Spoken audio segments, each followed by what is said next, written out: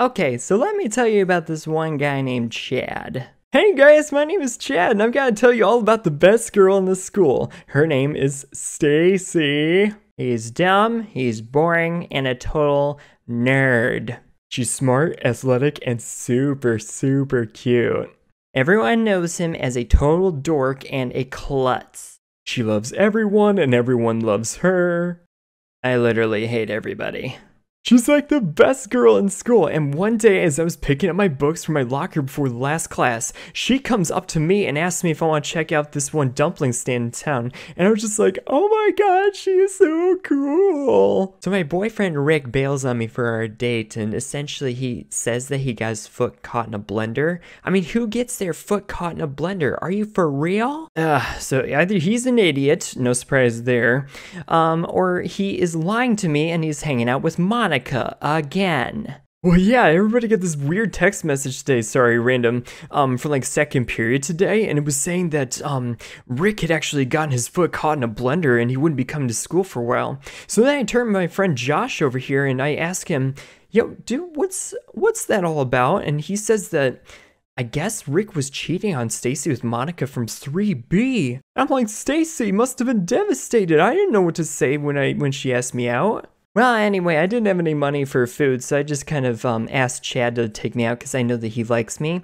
And he starts babbling like crazy. I just didn't know what to say to her. I mean, it was just one of those things where uh, she's so cool and she was probably devastated and she asked me out and I froze up. I mean, I literally froze up. Okay, so um she puts a finger on my lips and says, "Shh, nod your head if you wanted to say yes or something." And I'm like, ah. Yeah, I had to shut him up somehow. So after nodding like a total dork, he starts walking super awkwardly down the hallway to get to his next class, you know? And I just cannot stop laughing. She was laughing with me, like totally. Everybody else in the hallway was laughing at me too, I think. Nobody was laughing with you. They were laughing at you. Totally. Huh? But then Jess comes up to me after lunch and she's like, Are you really going out with that guy? And I'm like, I'm instantly starting to regret this. Huh. Oh my god, look at the time. Oh my god, it's almost time for our date. I wonder if I can get my foot stuck in a blender. Huh. What's up everybody, my name is Danger Doug and thank you so much for watching this video. Today what we're going to be doing is taking a look at FaceRig over here and this is one of those software programs from Holotech Studios that made its debut in July 2015. But one thing I want to say is this one is for all the people out there who want to get more involved in VTubers, this actually affords a um, pretty good solution for everybody who wanted to kind of get into it if you were kind of on a budget for the most part. So the base program is actually available on Steam for about $15. Now you get a couple of different add-ons here and there as well if you want to get a couple more characters and avatars. And actually the ones that we're going to be using today are mostly from the Live 2D plugin, which is about mm, $4 extra. So if you guys really wanted to get involved with this one, I mean, spending 20 bucks, it's really not too bad here and there to start with the base program. One thing I also wanted to point out here and there as well is that you can also customize a lot of your avatars here and there yourself, or you can actually have somebody, like an artist from like DeviantArt or something, send you guys a custom avatar yourselves, and you can load it into the program yourselves too. Now for the download for the Steam page and also a lot of the different plugins that we're going to be using, I'm going to include the links down in the description below so that you guys can get started for these ones and check them out. One thing I want to point out before we get started guys is that Holotech Studios actually around the beginning of this month, September, and again, as this video is like being recorded in like mid-September and whatnot, things may change over the next couple of months or something. But what they did say is that they're going to be debuting a new software program and face tracker called Animaze. And Animaze is promising to be like the step up. So if anything, it's it's taking what they learned from FaceRig and kind of creating another step up thing. Now again, since we are going over face FaceRig today, I just wanted to point out that at some point, maybe the next couple months, that this program may be coming out, but we'll see. It might be this this year or might be like next year, but we'll have to wait and see. However, However, this program is still really, really good, especially if you want to get started with VTubing. And for $20, that's a deal that you can't beat. And now, let's get started with checking out a little bit of FaceRig. Okay, so first thing that happens as soon as you open up FaceRig is it's gonna start to track your face. So if anything, um, it's got trackers on your eyes, your lips, your nose, your eyebrows and everything else too. But again, a, a thing that I would recommend that you guys do is to make sure that you, um, if you got bangs like in front of your hair, something that you pull it back with like a hat or a hairband or something like that, um, just so that you can see everything that's going on and, um, or rather your camera can see everything that's going on. Um, but with this one, yeah, you can um, open up the avatar gallery and pick different ones over here. Um, and some of the ones have a couple of customizations as well, so that you can mix and match a lot of the different uh, features that a lot of the different animals might have, or a lot of the different characters might have. But yeah, it's ultimately going to read your uh, facial expressions as much as um, exaggerated as they are, and all the good stuff too. So. Next thing I would also um, take a look at is also the backgrounds, and I do have this other background gallery in their environments to where you can change it to having the avatar being in forest of some kind, or uh, give them a green screen background for the most part, but um, in keeping in mind with this one, I would also keep out two um, uh, box lamps here and there um, triangulated on your face in order for your tracker to read it, but yeah, if you wanted to do that, you just come up to that second icon, you switch out your backgrounds and um, for the purposes of putting into OBS for any sort of Twitch streams or YouTube streams or anything, you probably would want to have it um, with that kind of background too.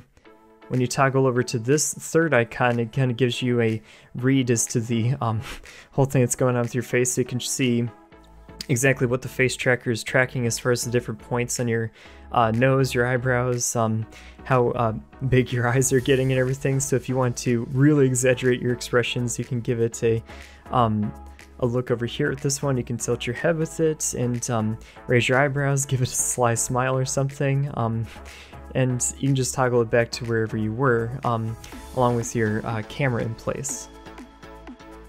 Next, you can go up to this auto calibrate tracking. When you have this one up here, essentially what this is going to do is you want to maintain a neutral expression and look directly at your camera, and then it's going to kind of reset your avatar if you need to.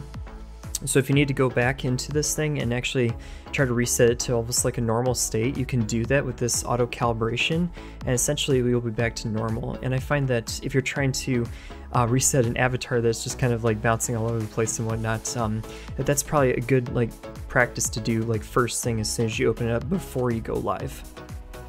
Now let's go over to the 2D, um, live 2D avatars, and um, for all of you anime fans out there and whatnot, they got plenty ones to choose from, and they um, have added a couple over the years here and there to um, uh, just kind of give a little bit of a picture as to what we can use for these ones. Now again, you can um, commission a lot of these ones and customize them as you see fit and whatnot, um, but for the most part, a lot of these ones are pretty good. a lot of the different facial expressions are pretty good as well. Um, the hair movement here and there as well is, is pretty good, but one limitation I will say that I did discover with this one was that um, the avatar, again, does not um, allow for uh, hand or arm tracking or anything, so you can tilt your head, you can give facial expressions.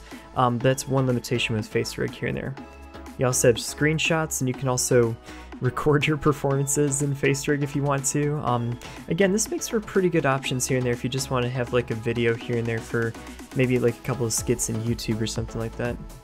Um, you can also overlay text here and there as well. Um, I personally don't do this too much, but I can see like if you guys were going to um, maybe take a picture for like Instagram or something, or possibly like, I don't know, put out something like maybe a profile picture or something like that, you can also throw in a couple of bits of text in there like cute or something. So um, with that in mind, if you want to save those layouts, um, you can. Um, you have those down there, or you can clear all of them. Doesn't really matter. Um, and if you had to reset everything to its default connection, you can just hit this um, uh, arrow key over here. Now go into the advanced UI, you have a lot of your other options over here too, like your avatars, your environments, and um, karaoke panel. I guess uh, with this one you can also load in songs and stuff and kind of have your avatar sing along to a lot of those ones. Um, just little things that you can also just kind of go over here. Now over here with this one, in terms of the settings, what you can also do is hide your logo and you can also do auto save. And if you want to hide the tips that kind of pop up over there randomly every once in a while, you can select hide tips over there. And if you want to change um, some of your features over here for where you save a lot of these screenshots and also your videos, you can change it over here. Um, devices, you can go over here for audio recording devices and whatnot if you want to change those. Uh, graphics, usually just leave these ones alone, only because they're pretty optimized from the very beginning. Um, sounds don't use too many of those ones, but this performance tab is pretty important. So if you're running OBS and you run your streams here and there at 30 frames per second instead of 60, um, type in 30 over here just to make sure your avatar is in sync with um, your audio and also the stuff that's going on with your game and whatnot. So you also have um, other different preferences down over here, including parental controls and um, also the key bindings that are over here as well. So if you want to um, have your avatar um, do a couple of different expressions here and there, like tongue out, tongue up, down, or any sort of other little triggers here and there too. Or if you wanted to program a couple of your own in here, you can as long as you have a good artist with those ones. Um, another thing over here as well is um, different facial expressions and triggers here and there too, like special poses or something if you wanted to actually do those ones.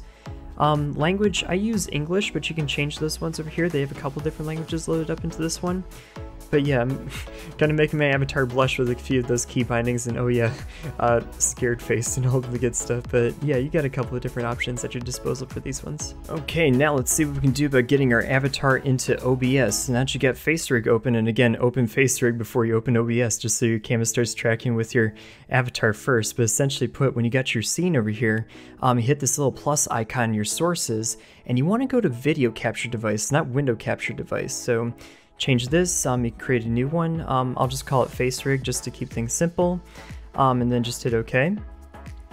And then you want to change your device away from your webcam to um, the FaceRig virtual camera capture. So essentially that's going to put this right into OBS and I'm, I'm, currently recording this with OBS right now, so if anything, um, that's why she's over there. But yeah, you can take this over here and um, uh, now she's essentially in your OBS instance. So essentially put with this one, um, what we're going to do is uh, flip her horizontally. And for our intents and purposes, what you want to do for this is um, right click on the source and then go over to filters um, for FaceRig and you want to um, add in a chroma key. So just a basic chroma key will do. Um, if you want to get to that one, it's not really too bad. You just need to click on your Facecam source and then just um, uh, go into this one, hit chroma key for filters. You can slide this one across and see exactly what you can do for your avatar with this one. Reposition her and uh, resize her as you see fit. Oh, wow. Look at that. So for everybody who wants to get started as a VTuber, this is a great program to get into. Again, it's only $20 for this part, and again, the base program, it's only 15 bucks, so you can't even beat that. But yes, for those days where I'm just kind of like not feeling all that well, or maybe I'm having a bad hair day, or maybe I'm getting like acne or something, or I just don't, I just flat out don't want to be in front of a camera this type of thing is absolutely perfect for that sort of thing. However, if you're one of those people out there who actually builds like a whole lot of confidence or you're trying to build like a character for your specific channel and get creative with it, this is probably one of the best ways to actually get started with it too. Now I will acknowledge that there's a whole lot of other programs out there and especially so with Wakaru, which was another one of the free programs that I was used um, which also included a hand tracker. That one's pretty good too. There's also a couple of other different programs out there that you could use here and there too. Um, one is called 3tene, another one's Luppet, and um, there's a couple other ones out there as well. So definitely be sure to check them all out. But for this one, this one's not too bad for the price range. I know that Wakaru and 3tene for the most part are essentially free, and I know that Luppet is basically like 50 or 60 bucks depending on where you live for the most part.